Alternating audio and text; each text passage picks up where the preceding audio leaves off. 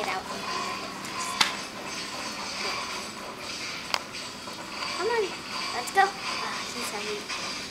Come on, Mr. Boy. Where do you want to go today? Oh no.